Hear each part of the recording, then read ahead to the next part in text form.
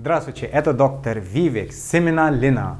Очень полезные. Мы все знаем, много людей говорят, я тоже говорю, полезные. На это видео я вам скажу, кому нельзя, кому можно, какое время года лучше, дозировка, как надо принимать. Все на это видео я вам скажу. Может быть будет новая и полезная информация для вас. Давайте начинаем. Самое первое, кому нельзя если есть аллергии, если бывает бурление, газы, если принимали и есть газы, бурление, дискомфорт, нельзя, беременение, без консультации врача не принимайте. Если беспокоит щитовидка, консультируйте своим врачем, только после этого принимайте. Но много раз так бывает, что люди говорят, ой, это повышает ваш эстроген.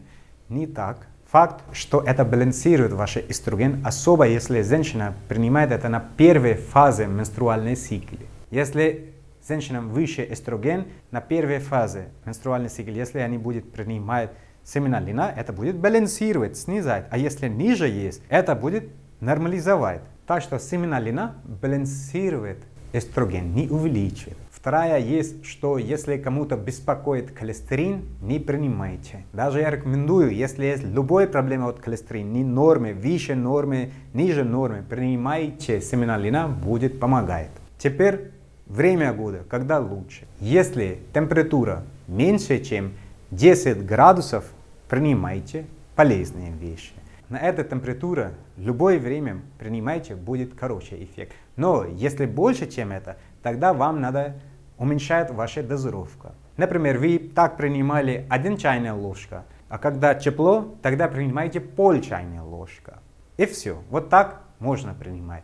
А теперь, что есть на этом? Если посмотрим, одна столовая ложка семена льна, там есть 55 калорий, почти 4 грамм там есть жир, 3 грамма есть там углеводы, почти 3 грамма есть там клетчатки тоже, и 2 грамма там есть белок. Это и есть.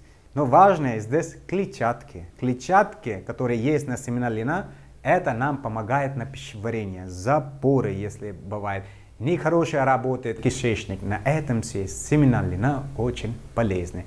Даже работает немножко как на запоры. Даже если бывает запоры, семена льна хорошие будет помогать. Так что если хотите кишечник работал хороший, запоры, это все проблема не было, принимайте семена льна. Но очень важно, что семена льна любят воду, они держат воду. Так что если вы принимаете семена льна, вам чуть больше воду надо пить.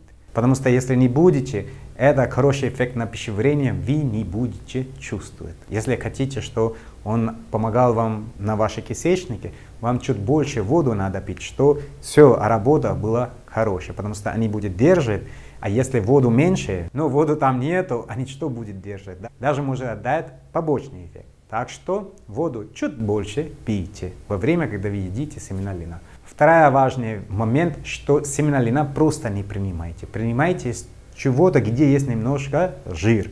Это, например, молоко, это ваши супы, либо что-то вы готовите, и там есть немножко масла, на маслом готовили.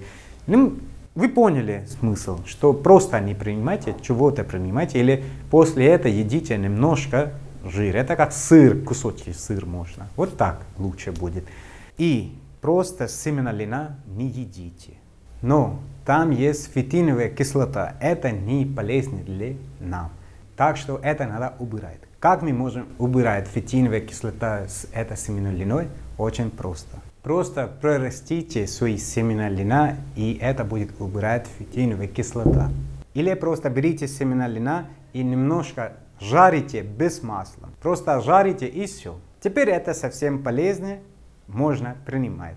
Еще рекомендую не просто семена льна куда-то добавляйте, лучше размолотите, получите порошок семена льна. Порошок наш организм хороший выпитает и больше эффект будет отдать. Так что принимайте порошки в форме. Сколько порошок? Начинайте с пол чайной ложки. Не сразу одна чайная ложка, начинайте пол чайной ложки один раз в день. 3-4 дня принимайте. Если все хорошо, тогда пол чайной ложка два раза в день начинайте принимать.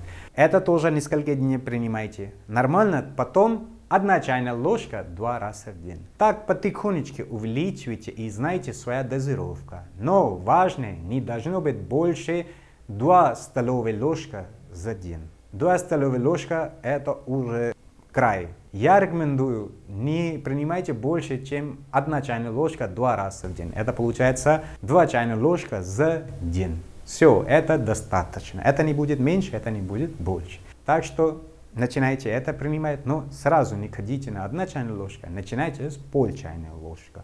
И почувствуйте эффект, и так увеличивайте потихонечку дозировку.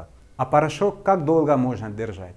Порошок не держите больше, чем 10 дней. Вот так, как свежий, так лучше, но не больше 10 дней. Можно сохранять на холодильник тоже, или на комнатной температуре можно тоже сохранять, но не больше, чем 10 дней. Вот так можно использовать семена лина. Даже вы можете готовить гель, как бывает алоэ гель, но много людей бывает реакции с гель алоэ. Вы можете получить гель из этого семена лина. Как? Просто берите 1 столовая ложка семена льна на 1 стакан воду, кипятите это, и через 5-7 минут посмотрите, вы будете чувствовать, что уже там как гель консистенции есть. Просто оставайте, и вы будете видеть, что семена льна вместе с много гел там есть. Фильтруйте это гель, это не будет просто, потому что это прям густой гель, и у вас есть это гель из семена льна.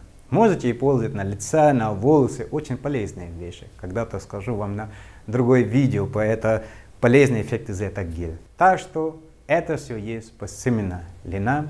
Надеюсь, эта информация будет полезна для вас и ваших близкими. Любайте больше, не болейте. Будьте здоровы.